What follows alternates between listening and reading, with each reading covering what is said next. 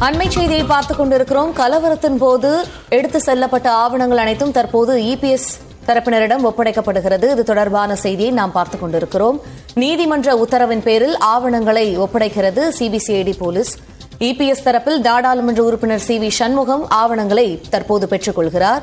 கடந்த ஆண்டு அதிமுக தலைமை அலுவலகத்தில் இபிஎஸ் ஓபிஎஸ் தரப்பினருக்கிடையே மோதல் ஏற்பட்ட போது தலைமை அலுவலகத்திலிருந்து ஆவணங்கள் எடுத்து செல்லப்பட்டது. அதனை தற்போது இபிஎஸ் தரப்பினர் ஒப்படைக்கப்படுகிறது. இது தொடர்பான செய்தியை பார்த்துக் கொண்டிருக்கிறோம்.